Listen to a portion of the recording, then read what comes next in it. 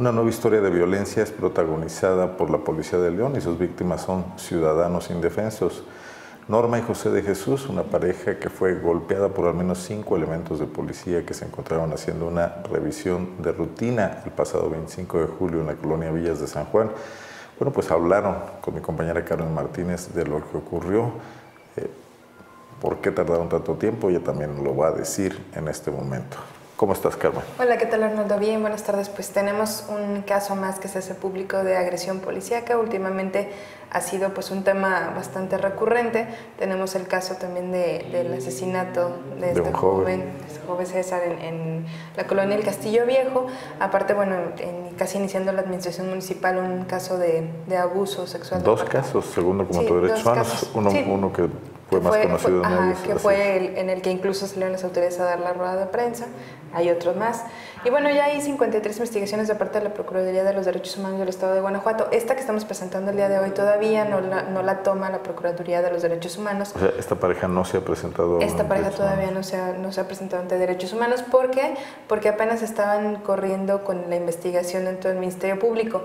No la habían querido dar a conocer porque temían represalias. Como si identificaron perfectamente a algunos de los policías que, tuvieron esta participación y eran los policías que cuidaban la zona ahí de Villas de San Juan donde ocurrió la agresión y donde ellos pues viven o conviven con sus familias, eh, habían tenido un poco de, de miedo de hacerlo público, pero bueno, finalmente pues se animaron a platicar con Zona Franca y exponernos este caso pues que ocurrió el pasado 25 de julio, ya hace un mes. Sin mediar ninguna provocación a esta agresión. No, según lo que nos cuenta Norma, su esposo José estaba en el fraccionamiento de Villas de San Juan un día, el 25 de julio por la tarde-noche, estaba limpiando su automóvil y tenía el estéreo un poco alto. Entonces Norma comenta que pasó una unidad de policía y después se regresó y le dijo al, a José que, que, tendría que bajarse a la unidad para hacerle una revisión de rutina. Entonces él dice, bueno, pero ¿por qué me voy a tener que bajar? O sea, no estoy haciendo nada malo. Lo que pasa es que, y los policías le responden, es una revisión porque estás con el estéreo alto y seguramente estás tomando. Entonces él dijo, bueno, no estoy tomando, si quieres pásate, cheque el carro, bajo el volumen y ya. Y entonces los policías al ver que él pues, se negaba o al menos daba argumentos que eran viables para negarse a una revisión, eh, empiezan a gritarle y esto provoca que Norma y la mamá de, José se salieran de la casa, estaban afuera de la casa de la mamá de José, y pues ahí empieza como una, una discusión entre los elementos de policía, como José no se quiso bajar de la unidad, empezaron a, a golpear el, automóvil y este, incluso uno de ellos, Norma comenta que con la, macana, con la macana rompió el parabrisas y empezaron pues ya a jalonear. Además daños. Además daños. Entonces ahí tenemos estas imágenes, ahí fueron algunos de los rasguños que tuvo José. Norma se asusta, entonces ella se acerca a José para decirle, bueno, pues si te van a llevar mínimo dame el celular dame tus pertenencias. Y cuando se acerca, una mujer policía llega y también empieza a golpear a Norma. Ella comenta que la jalaron del cabello y, este, y la, que una mujer policía la jaló como de la parte de atrás del cabello y dice que del chongo, otra que la otra la jaló de la frente. Entonces cuando ella se siente agredida, lo que hizo pues para defenderse porque no se quitaban fue morder a una de las policías. Entonces esto, esto fue lo que causó ya la agresión todavía mayor porque además de que empezaron a golpear a Norma, también golpearon a José, lo sacaron, ella comenta que lo sacaron jalándolo del cuello, lo sacan de la unidad del automóvil donde él estaba y luego los meten a, cada uno de ellos a, dos, a dos unidades eh, independientes, porque ya habían hablado a refuerzos como diciendo que había una, agresión o que más bien que no, una resistencia a revisión. Entonces llegaron, llegó otra, otra patrulla, ya eran dos patrullas, entonces en una subieron a Norma y en otra subieron a, José, pero los iban golpeando. ¿no?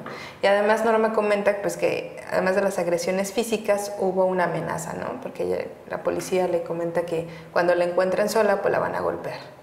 Y todavía, pues ya cuando lo suben a la unidad, en lugar de llevarlos al Ministerio Público y pues ponerla a disposición, ¿no lo puedes calificar? Sí, claro, porque bueno, digo, a lo mejor si hubo ahí una alteración del orden público ya con la riña que se armó, se los llevaron a un baldío, un lote baldío, y ahí comenzaron, bajaron a José de la unidad de la patrulla y lo comenzaron a golpear frente a, frente a Norma. Y como ella no quería ver, todavía la jalaban del cabello y le decían, mira, mira, tienes que ver cómo lo, cómo lo golpeamos, ¿no?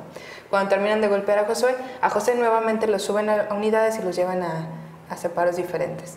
Y obligan a Norma a que se limpie la sangre, porque después de todo el jaloneo ella quedó sangrando, entonces le limpian la cara y decía, no, pues a mí preséntame así, ¿no? porque sí, sí me golpeaste, pues tengo que, demostrar que hubo una agresión.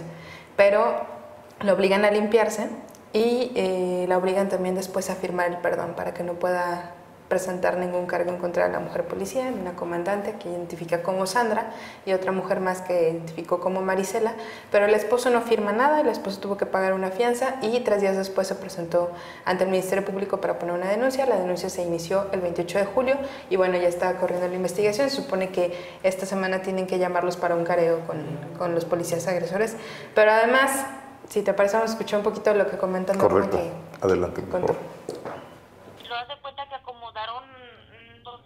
otra para que no, que nos estaban golpeando. De hecho, desde ahí, pues le pidió que se baja y me empieza a golpear la, la, la policía. Este, mmm, pues ya te digo, ya de ahí, también ahí cuando me amenaza, me dice que me voy a encontrar a mí sola y pues voy a valer más, ¿verdad y también, pues ya te digo, bueno, de ahí ya este, nos empiezan a golpear este, bajan a mi esposo, te también que pues, dejaron colgando, se puede decir, y lo empezaron a golpear como entre cinco. Digo que de hecho el que, el que quebró el parabrisas y el que quebró la masa del carro, este, ese le, le dio patadas, porque claro, sí, se me quedó grabado bien, y patadas y, y este, y o sea, y el puño se va en la cara.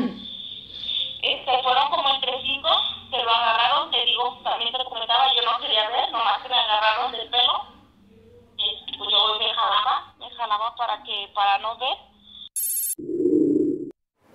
¿Por qué no se presentan a derechos humanos? ¿No, te comentaron? Sí, porque están esperando, supuestamente a Norma le, dijeron que el abogado iba a poner la denuncia también en derechos humanos, todavía están esperando que les comenten, no han hecho la denuncia pública, estaba esperando también que pues ya una vez que se publique el caso se pueda iniciar la investigación de oficio. Pero hay 53 quejas hay 53 en lo que va del año. En lo que va del año, Contra la Policía de León. Sí, 53 quejas. en el mes de julio fueron 8 meses tenemos un promedio de que de 7 promedio. Hasta, no, eh, las 53 quejas son hasta el corte de julio. Hasta julio. Todavía no hay corte de agosto.